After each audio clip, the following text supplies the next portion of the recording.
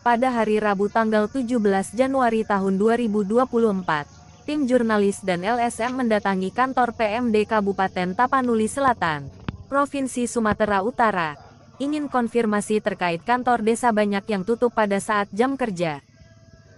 Namun setelah tiba di depan kantor dinas PMD, tim jurnalis dan LSM melihat bendera sang saka merah putih berkibar dalam keadaan rusak dan kusam.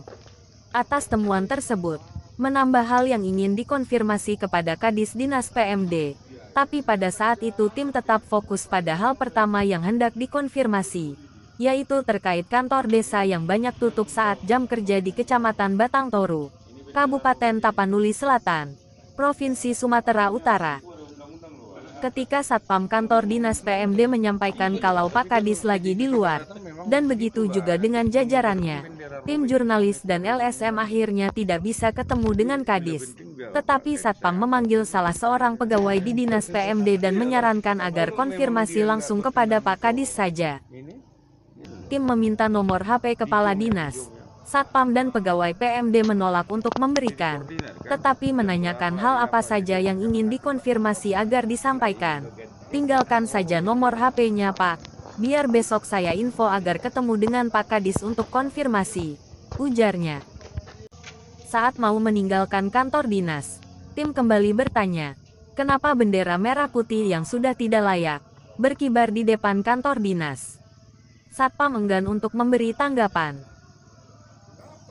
Sedangkan sang, sang merah putih aja robek, berarti dia tidak peduli. Ke mana anggaran yang digunakan oleh pemerintahan desa. Apakah sebuah bendera tidak bisa diperbaiki lagi atau diperbaharui? Semoga Bapak Bupati Tapanuli Selatan, yaitu Pak Pasaribu, mendengar keluhan dari masyarakat yang saya sampaikan juga akan tetapi tidak ketemu Bapak Pendes. Ketua LSM LPP ASRI Kota Matia Padang Sidempuan, Dorandus Lumban Tobing, merasa terkejut melihat berkibarnya bendera merah putih yang rusak di kantor dinas PMD.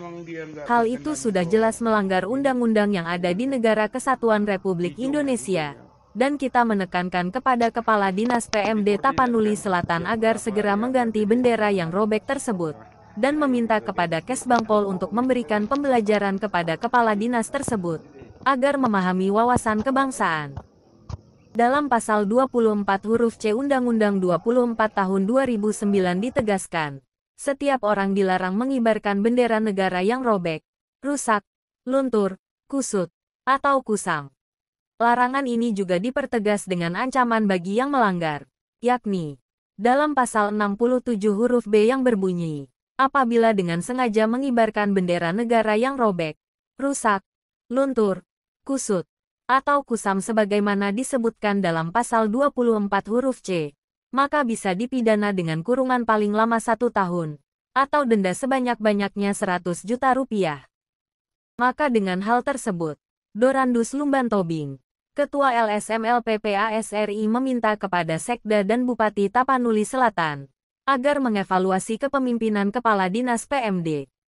Senin tanggal 22 Januari tahun 2024. Saya atas nama LSM akan konfirmasi langsung dengan Bupati Tapanuli Selatan. Moga aja beliau berkenan untuk ditemui. Pungkasnya penuh harap. Sebelum berita ini tayang di TV streaming, awak media sudah konfirmasi lewat pesan WhatsApp.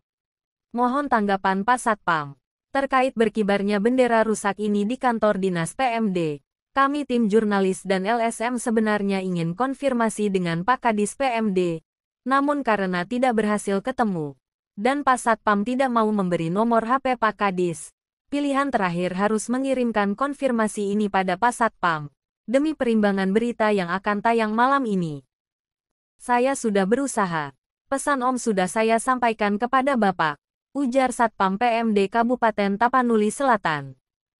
Dari Kabupaten Tapanuli Selatan, Provinsi Sumatera Utara, Reporter Berita TV Online Target Daerah.com melaporkan.